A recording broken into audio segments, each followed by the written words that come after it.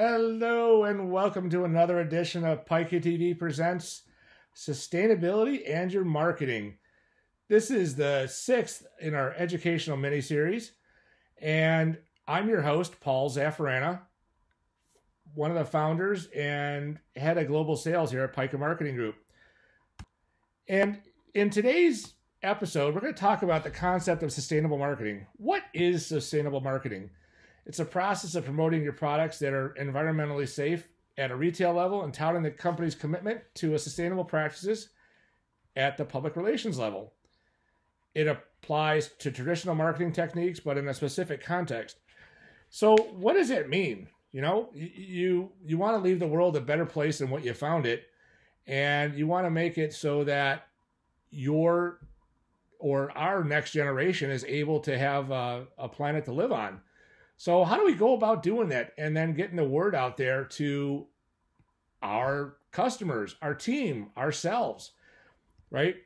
So, a lot of the um, products that are out there are made with conventional plastics, are made from fossil oils, from t shirts and bags and bottles and totes and binders and you name it, are all made with. Um, fossil fuels or fossil oils out there. There's so many out there.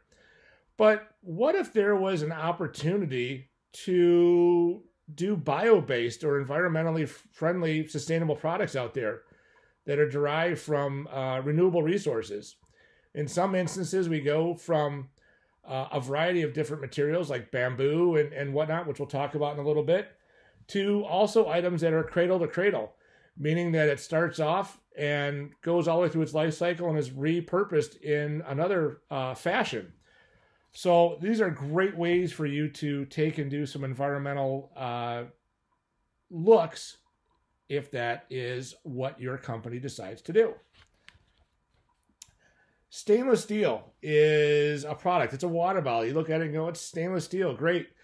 But as a metal, it's uh, one of those that has the cradle to cradle process to it and also has added benefits. So the metal in the stainless steel bottle is available and able to be recycled many, many times.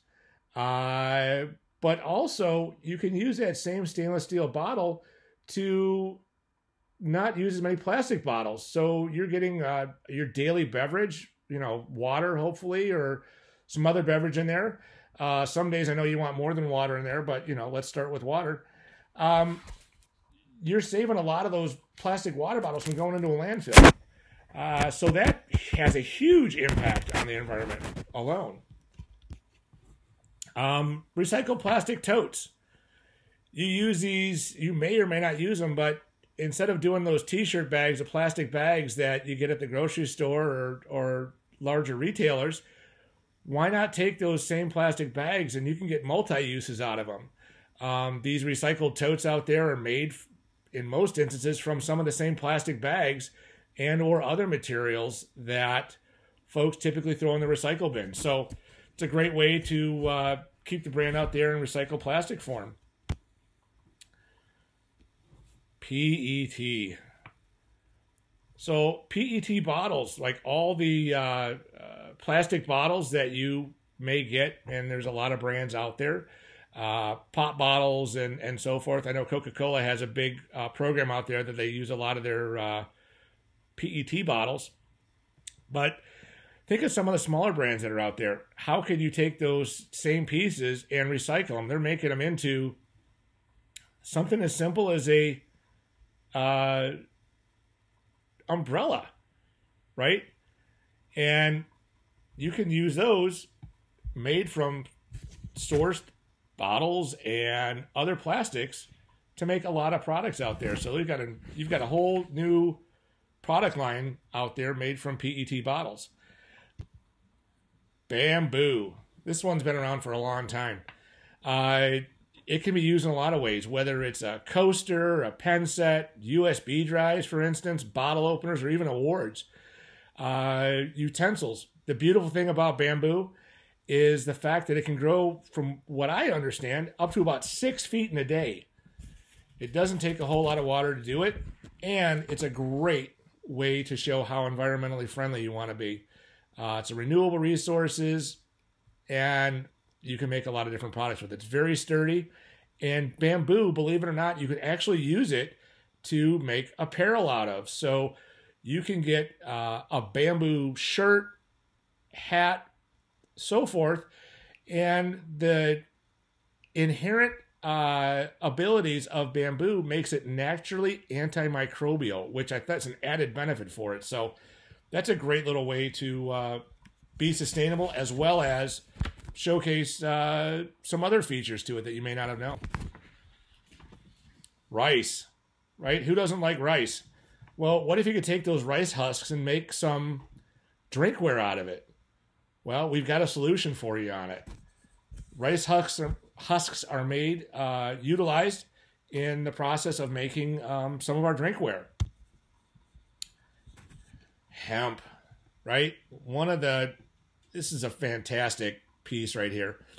Hemp is the most useful plant on earth, uh, in our opinion. Outside of some of the other features that uh, folks use for relaxation, it's a uh, great source of protein and minerals for and dietary fiber, and it can be used in lotions, in hair care products, and cosmetic products. It's the ideal piece for making paper because it grows so great without having to chop down a lot of trees. So hemp is fantastic for that. You can use it in fabric and textiles and rope. You could use it uh, as a source of uh, fuel, and it's a great alternative for plastics. I could go on and on and on about all the great features of hemp out there.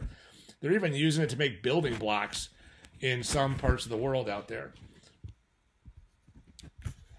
Other part is, hey, you know what? You got all this stuff that you want to package out there. We can take and put it in an environmentally resourced and sustainable packaging out there.